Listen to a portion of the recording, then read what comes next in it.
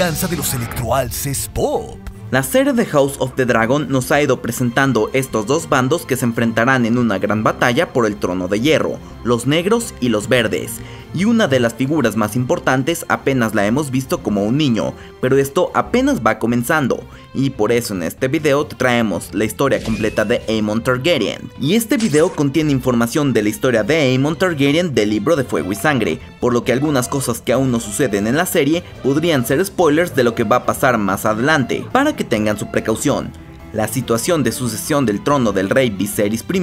es lo que da origen a todo este caos de la casa, y tal vez en parte por su ingenuidad que iba a tener una familia feliz con tanta rivalidad que existía cuando él estaba en vida. Recordemos que la novela de Fuego y Sangre solo nos recuerda algunos datos y es ahora que la serie ha explorado mucho más algunos personajes. En específico, Aemond es uno de los que se está beneficiando de que se pueda explorar más a fondo toda su complejidad y que le va a permitir ser un personaje más interesante conforme avance la serie. El príncipe Aemon Targaryen es el hijo de Alicent y de Viserys y no es precisamente el que pudo haber sido el heredero de Viserys de no haber cambiado la sucesión, pero sí parece ser el más comprometido al igual que su madre con la causa. Uno de los primeros momentos importantes tras su nacimiento, los cuales se menciona en el libro, es cuando pierde un ojo por un encuentro con los hijos de Rhaenyra. En la serie nos narran con más detalle cómo es el evento, y después del funeral de Lena Velaryon en Driftmark, Aemond se dio cuenta de que podía reclamar a su dragón, Vhagar, el dragón más antiguo, más grande y más temido de Westeros. Ya habíamos visto cómo no tener un dragón era algo que le mortificaba mucho, y este niño lo hizo a lo grande, porque a pesar de poner en riesgo su vida, logró vincularse con Vhagar, lo que desencadenó un trágico conflicto que le costó el ojo izquierdo. El enfrentamiento de Aemon con los hijos de Rhaenyra Targaryen, Jaehaerys y Lucerys Velaryon, así como con las hijas gemelas de Lena llamadas Baela y Rhaena Targaryen, rápidamente se volvió en un enfrentamiento más violento y con más repercusiones, la cosa se intensificó rápidamente, sobre todo cuando Aemond acusó a Jaehaerys y Lucerys de ser bastardos. Los cuatro primos pelearon con Aemond hasta que Lucerys cortó el ojo de Aemond. Hay un contraste en el personaje de verlo en un inicio siendo empático con Baela y con Reina en el funeral, pero luego desató su crueldad Targaryen cuando lo acusaron de robar el dragón de su madre. Al final el hijo de la reina entendió más rápido que su madre las implicaciones de este conflicto y el potencial que es tener un dragón gigante como estos del lado de los verdes. Ahora lo que sigue para este personaje es ya lo que sucede tras la muerte de su padre, que marca el inicio de la danza de dragones. Cuando muere Viserys, Rhaenyra y su gente no estaban cerca, se encontraban en Dragonstone, y para los seguidores de Alicent les es fácil formar un consejo privado y coronar a Aegon. Hay que mencionar que cuando recién murió el rey, Aegon no estaba con su esposa en la Fortaleza Roja, había salido de fiesta y el libro no es específico de cómo lo encontraron. Por su parte, Aemond estuvo más dispuesto y listo para toda esta guerra que se avecinaba.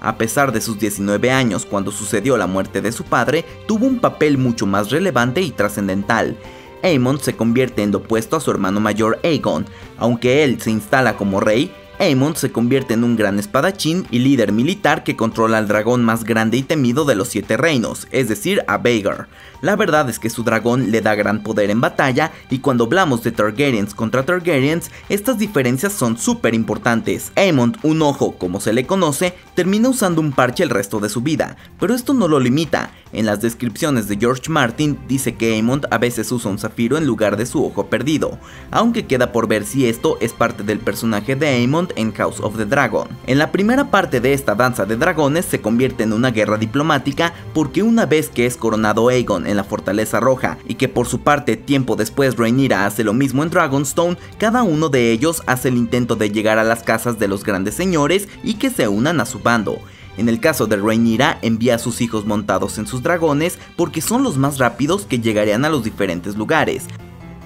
A pesar de que son jóvenes, Jaehaerys y Lucerys se unen a su madre en esta misión. Apenas es el inicio de este enfrentamiento y cuando Lucerys es enviado a Bastión de Tormenta, el hogar de la casa Baratheon, y pues no hace falta recordar que lo enviaron a esta zona porque era mucho más segura que las de su hermano mayor, pero Aemon Targaryen ya se encontraba ahí, y parece que a pesar de que Bormund Baratheon había sido partidario de la princesa Rhaenys Targaryen, porque su familia por mucho tiempo había sido leal a esta causa, no fue así cuando llegó Aemond. Ahí convenció a Lord Borros de que apoyara a Aegon prometiéndole casarse con una de sus hijas. Mientras Aemond estaba en Bastión de Tormentas, Lord Borros recibió la visita del príncipe Lucerys, y a pesar de que el hijo de Rhaenyra no tenía intención de luchar porque se lo había prometido a su madre, Aemond no perdió la oportunidad de provocarlo, sobre todo porque quería cobrar venganza por la pérdida de su ojo, y a pesar de que las cosas se calentaron, el señor de Bastión de Tormentas no quería permitir un enfrentamiento en su castillo, y así fue como le permitieron a Lucerys salir de este lugar, pero Aemond no dejó las cosas así,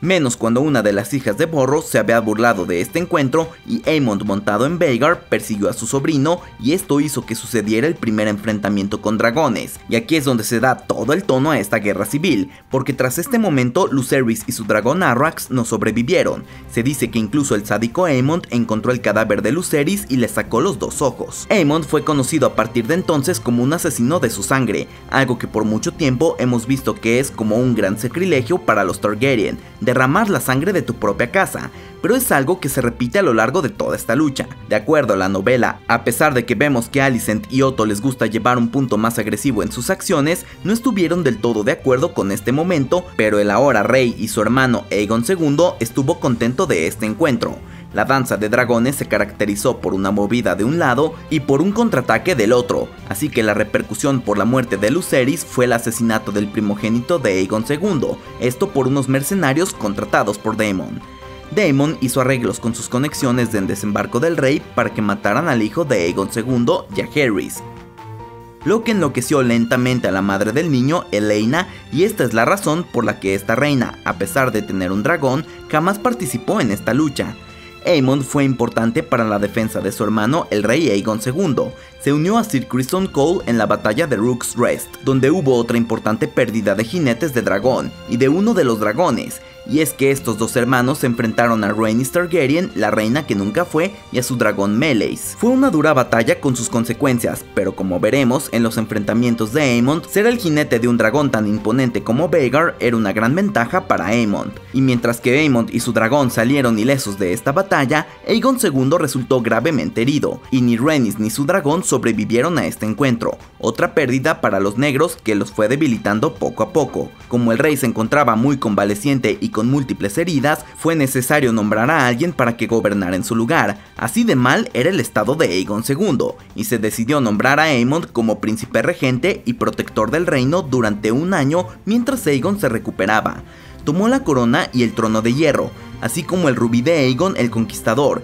y parece que desde que tomó este puesto se sintió que este lugar ya era como suyo, y como príncipe regente Aemon reunió un ejército junto con Sir Criston Cole, quien ahora era la mano del rey, porque antes de caer convaleciente, Aemond había despedido del cargo a su abuelo. Ambos decidieron que la mejor estrategia era ir en contra del príncipe Daemon, quien era quien tenía más experiencia en la batalla, así que fueron tras él en Harrenhal. Aemond estaba más obsesionado en luchar contra Daemon que ver realmente las repercusiones de sus acciones, porque su partida debilitó a Desembarco del Rey, y así fue que cayó ante Rhaenyra y ella pudo tomar la Fortaleza Roja. Después de recuperar Harrenhal, Aemond ordenó la muerte de Sir Simon Strong, así como de sus parientes. Aemond y Sir Criston Cole se separaron, y Aemond comenzó a volar con Vhagar, quemando numerosos asentamientos de los que eran los aliados de los negros en las tierras de los ríos. El príncipe Daemon buscó a Aemond y a Vhagar por las tierras de los ríos, pero no pudieron encontrarlos.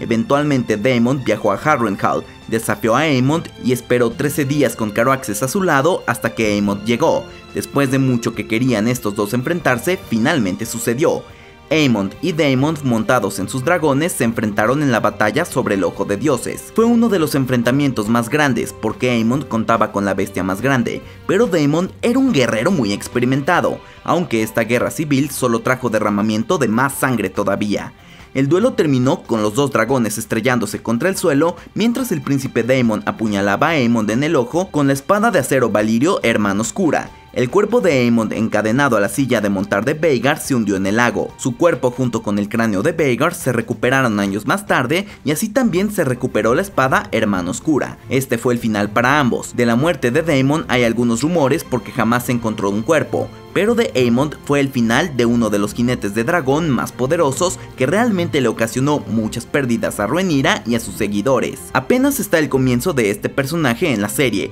pero es uno de los más interesantes de esta guerra civil y saber que la serie lo va a explorar más a fondo suena muy emocionante, pero de igual manera si te interesa conocer toda la historia completa de Alicent Hightower, te lo dejaremos aquí en las pantallas finales junto con otros videos. Y hasta aquí su amigo, la luz del multiverso. Y como siempre, acabas de ver la venganza de los electorales pop. So say we all.